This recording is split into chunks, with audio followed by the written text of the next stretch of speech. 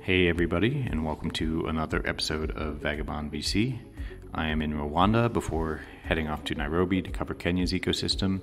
But today's episode, we are still talking about Tanzania. Today, I'm thrilled to feature my guest, Salum Awadh. Salum is the CEO of SSC Capital and also the founder of the Tanzania Venture Capital Network.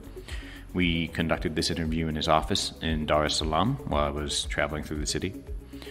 Salum is super involved in the local startup ecosystem, and his insights have been really valuable. So I'm really excited to bring this episode to you today. So without any further delay, I bring you Salum Awadh. So I am here in Dar es Salaam, Tanzania, with Salum Awadh. He is the CEO of SSC Capital. I think that's actually an understatement of all the things that you do here, but we're going to get into all of that. So let's go ahead and start with you, your background and how you actually got involved working with startups and venture capital. Sure. Thanks for having me, and I think it's a great opportunity to share what is happening in the ecosystem here. Yeah, so my name is Salum Awadh. You can call it Salum as well. Depends on where you come from. uh, yeah, so my background is in finance. I went to school here. And before I jump into SSC Capital and everything that I do today, I was once employed. So I work for USAID uh, with a project which is under State University of New York. Uh, and then, of course, I moved to a pension fund where I worked for two years. And then I quit and started SSC Capital 11 years ago. So that's pretty much it. I'm born and, and, and raised here uh, in Tanzania. That's pretty much me, a father of two boys, and, and I'm happy to share that. Your involvement here with SSC Capital, how did you actually get focused more on the startup ecosystem and get involved? SSC Capital is a company. We, we are pretty much a strategy advisory and investment banking firm. So one of the things that we do, one of actually core things we do is capital raising. So we raise money for companies here and across the region. And our initial focus since we started was for companies that are raising anything from a million dollars. So you would see by design that leaves out a lot of startups that are, that are raising money. So we could not assist the startups. We could not do anything for them then uh, because our focus was different. Uh, and then, of course, we saw the wave of many young people trying to employ themselves given the high level of unemployment here in many other African markets. Uh, and we saw that access to finance was one of the major challenges that they were facing. And because, of course, we have a background, I have interest myself, passion in finance, and I thought probably maybe there's something we can do for startups. So I think that was five years ago, I guess. That's when we started now to also see how can we support startups in terms of raising money. So our initial focus was pretty much around investor readiness. Uh, because we already had uh, some contact with private equity and venture capital funds that were looking for opportunities in this market, but we saw the huge gap between the supply and demand of deals. So our focus on startups and, and our involvement started there. Uh, initially just training and advising, doing some mentorship around, you know, how can you be investor ready. And that's how we also started Tanzania Angel Investors Network almost same, around around same time to see whether we could address the gap that we saw. Because at that time, majority of all the private equity and venture capital funds which were coming down to Tanzania, which I think is pretty much uh, the same today, we are looking for ticket sizes from a million. Uh, and we, we, thought probably we need to do a lot of work for smaller tickets, uh, say between 50k to 150k, uh, and that's where our work for startup started. So that was the Tanzania Angel Investor Network. Yes. And uh, yesterday when I was mentioned, I mentioned to you we were I was talking to Jumane and we were talking about access to capital. And I don't want to jump too much into the ecosystem here, right? Mm-hmm. Not just yet, at least. But since you brought it up with the Angel Investor Network, what is the status of an angel investor here? So, for example, where I come from the US, there's some barriers to angel investment in terms of uh, having to be an accredited investor, things like that. So, for someone to be an angel investor here, what are some of the parameters that someone needs to become an angel investor? Is it easy for someone to be an angel investor here? Are there is there enough finance in that basically that early stage area? What's what's going on with the angel investment piece? For Tanzania, we don't have like regulatory parameters uh, to define someone as an angel investor. Uh, whether it's the level of sophistication or the level of investment they want to make or you know the amount of money they earn a year. That's a good thing actually. Is, it keeps... yeah. Yeah, so for us, we define an angel investor as someone who can provide us with three things. One, has the ability to invest at least $5,000 per transaction. Secondly, someone who has a rich network uh, from his uh, own undertakings that can help the startup to grow. And thirdly, someone who can also provide some mentorship to this startup to learn from them uh, and grow. Because that's why we want someone to join us as an angel investor, the way we define them is whether you are successful in your own undertaking as an entrepreneur or you are a former executive, so you have held high level position in corporate world, so at least you know a few things, or Tanzanian living in diaspora who has uh, uh, accumulated some experience there that can be used here for startups to grow. So that's how we define uh, an angel investor here. I guess this is kind of a simple question, but are there a lot of them here in Tanzania? No, okay. uh, no, and that has been one of the major, major challenges. Actually, the main issue has been is not necessarily getting people with such qualities. I think the main challenge has been getting people potentially with such qualities, but with different mindset. Because majority of people who have such parameters, if we successful entrepreneurs have made money in very traditional businesses, so they made money in say in manufacturing or in, in transportation uh, or in real estate, and they wouldn't look at startups as a potential asset class for them to invest in. And that's been the major major challenge in the market. So you can get them there, but to move them from where they are to become investors for startups, that's, that has been the major challenge in the market. Because it's too risky for them, or they just don't understand the asset class? They don't understand the startups as an asset class. They haven't seen, because you know, startup ecosystem in Tanzania, just like in many other African markets, still very nascent. So they want to hear success stories. So you go to talk to someone, they're like, okay, so give me three success stories, startups that are, you know, investors have exited these startups and such kind of stuff. So yeah, that's where we are. Chicken or the egg, right? Yeah. we need capital right. to make a success story, but we're not going to yeah. fund you unless there is a success Correct, exactly. Okay. Yeah. Going back a little bit to SSC Capital, you and I had spoken a little bit earlier about the, uh, and we were laughing about my Swahili, but the Mbadala yeah. Impact Fund, the MIF. So let's talk a little bit about that. You had mentioned to me that you had actually started this two years ago. But you just started investing, I think, last month, right? So we plan to start investing last month. Well, let's talk through the background of it yeah. and kind of the plans for it. So as I said earlier, our role pretty much was around uh, uh, as, as a capital raiser, transaction advisor for companies, startups, and, and what have you. And then what you see is there are moments where the opportunity is very interesting, uh, but our partnering VCs cannot invest in because either the, the, the, ticket size is too, too small for them to have you know commercial sense, or there's a huge uh, knowledge gap about that startup. So you come from US, uh, maybe the way you want to look at a fintech here, you already have your legacy understanding about fintechs, maybe from US or from Europe or more advanced ecosystems different from the way we look at. So you may pass that opportunity, but from my end, I feel like, you know what, this is a great opportunity, given my understanding of the local environment. So we leave out a lot of deals, you know, not only getting funded just because the potential investor doesn't see that as an opportunity uh, to scale in the future. So that's where we say, you know what, maybe we need to have our own fund uh, where we can fill that funding gap. One. Secondly, uh, because majority of all these investors coming down here are looking for, say, uh, Series A uh, type of investments. Uh, and these, these startups are not ready for Series A investment. Maybe we can invest in these startups and then probably whether they're pre-seed or at seed stage, and then we can you know, move them to Series A level where now they become a pipeline for potential VCs to take them up. So that's how we, we thought probably we can we can do that, and that's the reason why we named the fund Mbadala, which is Swahili for alternative, meaning that we provide an alternative way to finance these startups, which they cannot easily be financed in the mainstream uh, venture capital ecosystem. Yeah, so it's a five million dollar pre-seed fund, uh, set agnostic. So we invest in startups from a ticket size of 50 to 150k. And the plan, of course, we can do a few cases up to 300k, but they must have a strong impact business model around them and within the geography of East Africa. What was the process of fundraising like here in Tanzania? I don't know who your limited partners are, and if you, you don't have to disclose them per se, but the process of raising a fund located here in Tanzania, focus on Tanzania, what, what was that process like? What were some of the challenges there? No, you can you can you cannot raise a fund here. well, you did it.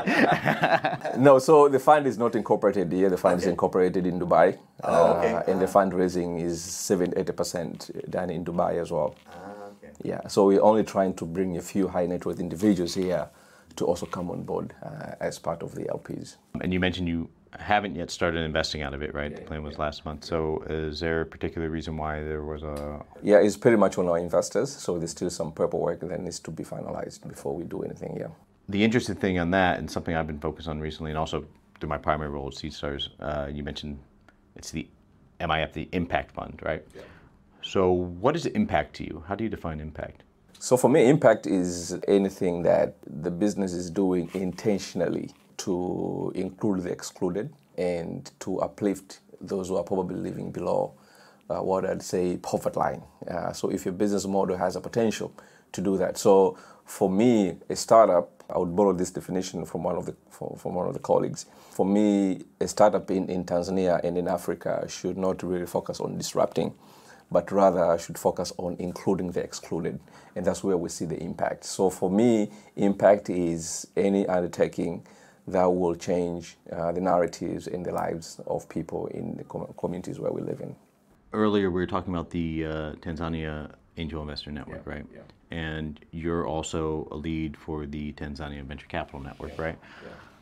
So, how did the Tanzania Venture Capital Network come about? What's the history of that? What's some of the goals of, of that organization? Yeah, so when we started pushing for this venture capital agenda into the market, because before that, which of course still the case. The majority of funding in this market is pretty much dominated by banks, commercial banks in particular, uh, which we all know are risk shy and early stage shy. So you cannot really rely on banks to unlock financing for startups and other small businesses in this market. That's why we thought probably private equity, venture capital, angel investing could be potential uh, you know, alternatives for, for funding for early stage businesses here. So what we did was to you know start looking at let's do the mapping first of all of venture capital ecosystem in Tanzania. So what are potential players who is interested to, to do investment in, in this market? What's the legal framework? You know, what's the, how's the culture? Uh, how is the readiness and all that kind of stuff. So we did that in 2018. Uh, and then we came to learn that the venture capital ecosystem in Tanzania was almost not there, not developed. So the Tanzania Venture Capital Network was started to do that, to develop the ecosystem. So it's, it's a not-for-profit initiative which seeks to build the venture capital ecosystem in Tanzania, from policy, knowledge, events, data, you know, research, intelligence, everything that we think is necessary for the ecosystem to grow. What are some of the recent initiatives that you guys have been working on through the network? Yeah, so one is we are currently working with Tanzania Startup Association with the Minister of Finance to see how can we use government money as a source of funds to finance early stage VC funds locally here that can raise money locally here using government funds and start investing. Because for my case, as I said earlier, a $5 million fund is a very small fund. If you're trying to raise it internationally, it becomes very expensive. But guess what? We don't have any strong uh, local LPs uh, that can invest in your fund. But the government in Tanzania has an initiative where the structure of the government here is we have the central government, we have the local government. Uh, and within the local government, the government enacted a law where 10% of all the revenue which is collected from the local government should be used to finance youth, women, and disabled. So it's part of enterprise financing. But the use of the fund is not, is not optimal. So we thought probably the government can take a portion of the chunk of the money and set up a government fund of funds that can be used to finance smaller funds like ourselves that we can start investing in, in early stage startups. So we are currently championing that, that initiative. Uh, so a few weeks ago, we had a stakeholders event where we brought in different players in the ecosystem to discuss about what we think and, and, and what sort of milestones we're trying to achieve. And today morning, as we speak here, we are also working closely with Startup, Tanzania Startup Association to support the government in their review of the Competition Act, which we think is one of the disincentive for uh, private equity and venture capital investments coming to Tanzania. Now that's great, especially on that first point. I've, that model with the fund of funds from a government back or sponsorship, so to speak, has been very successful in other places and has been a catalyst for venture capital investment in many other countries. I think the biggest example I know off the top of my head is Corfo in Chile, which they basically were like an LP in these early stage funds and really kickstarted that startup ecosystem. So hopefully that's something that can definitely come about. Yeah, yeah. Actually, it has been successful in Ghana as well. Ghana, okay. So let's move away from these specific activities and focus more on the ecosystem itself, right? And we've kind of touched on different areas just through some of the things we've already talked about. But I'd really like to know about when it comes to the ecosystem doing business here as a startup, investing here, what are some of the common misconceptions that there could be about doing business as a startup here in Tanzania? So I think from the startup perspective, first of all, I think there's a huge, huge underestimate of consumer literacy here in terms of picking up your solutions. People have tried solutions here which probably would have worked well in other markets, but they haven't in this market. So Jumia, which you may know, couldn't do anything here, so they had to exit the market. Uber has exited the market. Of course, there are other reasons for that as well. Uh, but one thing I can tell for a fact is uh, the orientation and the the mindset of a traditional consumer in Tanzania is pretty much different from other markets, say Kenya or South Africa or Nigeria. So there's a lot of work that a startup founder needs to think of uh, before you plan for this consumer the way we would have planned for a Nigerian or Kenyan consumer. So this is my perspective, number one, which I think is a major misconception that people have. Secondly, is build and they come. Uh, you think you can build a good solution, interesting app, uh, iOS, whatever, Android, and then people start using your app and, and it's not working. Uh, yeah, so this idea of build and they come uh, is tough to operate in this market as a startup founder. So you need to know that very well. And thirdly, from the startup perspective as well, is do not underestimate the obstacles that you face with government regulations. All the laws and regulations that we see in this market were pretty much created before this whole thing about startups and investments in this market. So none of them is startup friendly. Uh, so everything you want to do here, you should know that uh, somewhere down the road, say for instance in the fintech space, uh, you're going to face some obstacles. Some have, have tried here, and they had to navigate to go to other markets to start and come back to Tanzania at a later stage. Yeah, but on the investor side is, for me, I think uh, we you may think Tanzania is the largest, second largest economy to Kenya, can give you almost the second option to what Kenya is offering. Unfortunately, that's not the case. As much as we're the second largest economy, but we still have a lot of work to do to be the second best when it comes to uh, investment opportunities here as, as, a, as an investor if you're looking to invest in opportunities here. But secondly, unlike some other people think that you know this this cultural thing and historical thing that Tanzania was once a socialist uh, country, and probably it's not as open as Kenya, for instance. Uh, but that's not the case anymore. Things have really changed. Things have really moved on. Uh, you have a lot of young Tanzanians who are, who are, well well exposed, some educated abroad, come back here and do a lot of a lot of good stuff. Uh, so as much as you might underestimate, on the other hand, Tanzania, uh, if you were to compare to other markets, we I think we are doing uh, way way better in terms of the potential uh, of the country moving forward. If we can, you know, fix all these few issues that which I've mentioned earlier. Uh, speaking of underestimating things, yeah. in your career so far working here in the ecosystem, what's something that you've underestimated? Uh, I underestimated the idea that I thought if you, you set up an angel investors network, uh, it would be easy for people to join and start investing. and it's, it's taken us more than three years uh, to, to build that. Like you said, you can't just build it and they will come. yeah, exactly, exactly. No, that's actually really, really interesting. Uh, I think being neighbors, it is really easy to constantly compare Tanzania to, to Kenya. Yeah. And Dar es Salaam and Nairobi, they're so close geographically, mm-hmm. but you can't ignore really the differences that are really going on between two countries when it comes to regulation, when it comes to just the culture, the mindset of the talent. Actually, let's jump on that. What what is the talent like here? If we could take a, a step back and look at okay, uh, the talent maybe compared to some other ecosystems in Africa, but also like what's good about it, what's what's missing, where are some of the gaps? Wow. So talent is one of my major issues here. If you ask me if you were to list the top 10 challenges of doing business in, in Tanzania, number one for me will be talent, you know, not even access to finance. So, and, and you can explain that in so many ways. One is, so the traditional formal education system in Tanzania has yet to, to produce competitive talents that we need in the market. That's one. Uh, so everyone who is graduating, majority uh, who are graduating from our education system coming to the market are pretty much half-baked, if I may, uh, not really ready to be taken up. That's one. But secondly, I think we don't have enough players in the ecosystem that can take up these uh, all these graduates and upskill them to be ready for the ecosystem. Uh, we're still, I think, in a position where I see a few startups trying to build edutech uh, startups that are trying to bridge that, that, that, skills gap that we have here. So that's where I would, I would see it. But in terms of comparison, I think there was a study which was done a few years ago uh, about the number of developers that Africa has, and, and Tanzania, I think, was not even the top top five, uh, was not there. So I think we still need to do a lot of work in terms of training uh, and getting more developers.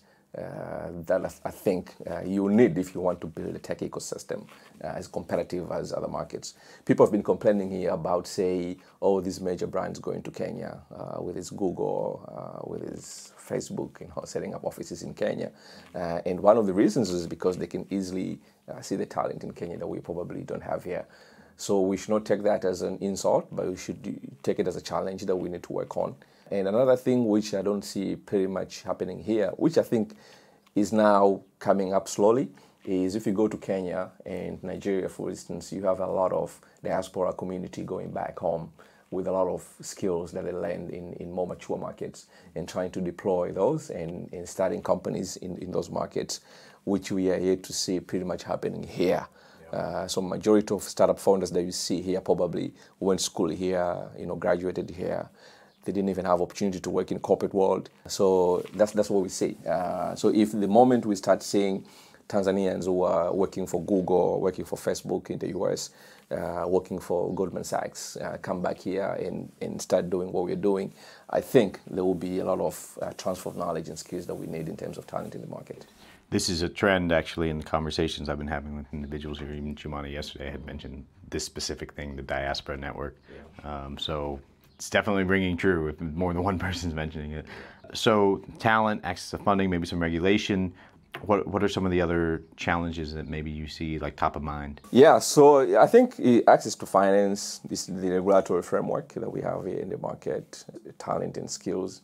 For me, and uh, I think the fourth is the mindset to me, I think it's, one of the biggest. Yeah.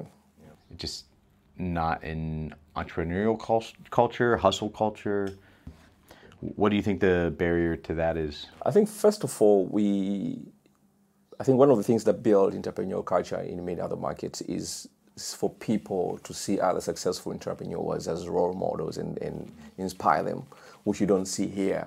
Uh, you know, those who have made it are not ready to come out and say, how do they, you know, get where they are today? You know, people don't write books about successful entrepreneurs, so you cannot really say, "Oh, I know him. That's where he started. He came from the same village, and this is where he, he is today."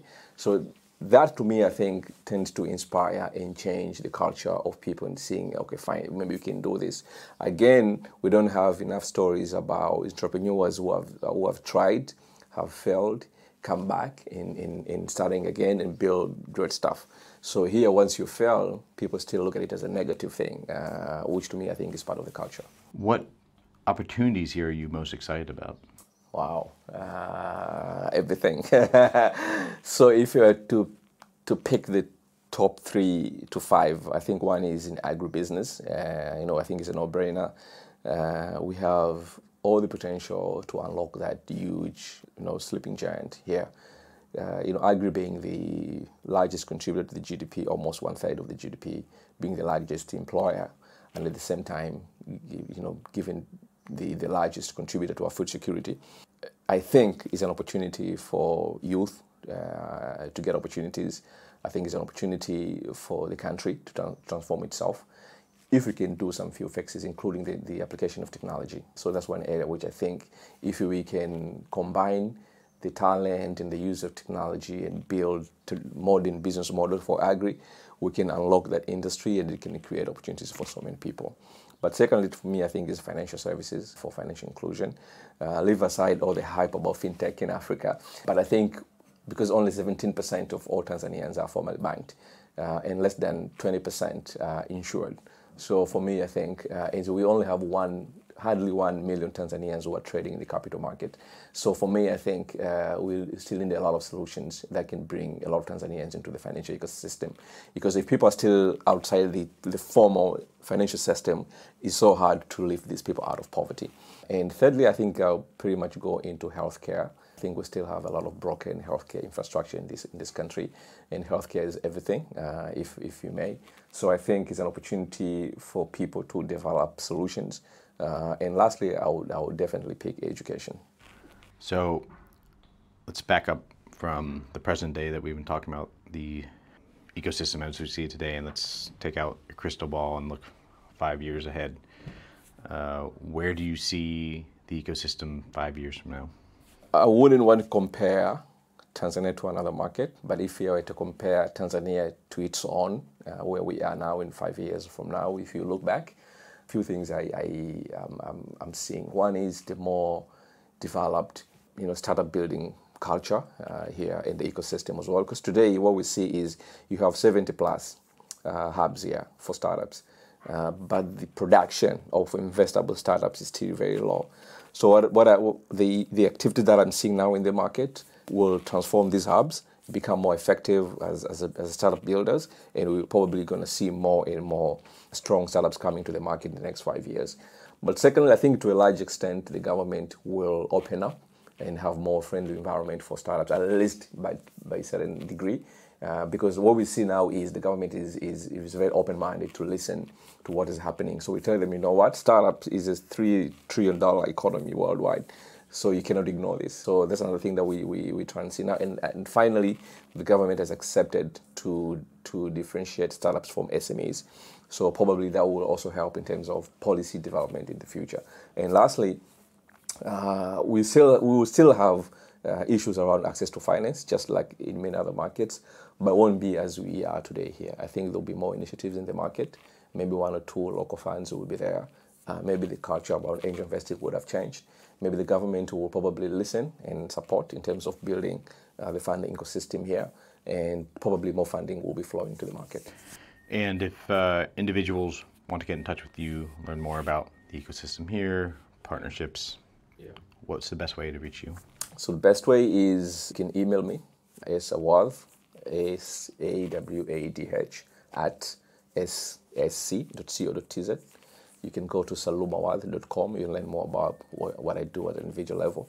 And you can as well contact us through ssc.co.tz, which is our firm's web. Uh, and you'll learn more about what we do in terms of partnerships and synergies. Uh, but I'm very active on my social medias. So on Twitter, LinkedIn, Instagram, same name, Salumawadh. It's so funny. VC Twitter is such a thing. It's such a thing. I don't yeah. know. I'm on there too. Like I, I don't post that much, but uh, I follow it. Yeah, so I'm very active actually. I'm very active. Great. I uh, I'll be sure to include all the links in the show notes as well. Well, Salum, this has been really insightful for me. I appreciate you letting me come here in your office and take out a chunk of your time. Uh, I know my audience is going to get a lot out of this, so thank you for your personal time and thank you for what you're doing in the ecosystem. Yeah, really appreciate it. Thanks for having me.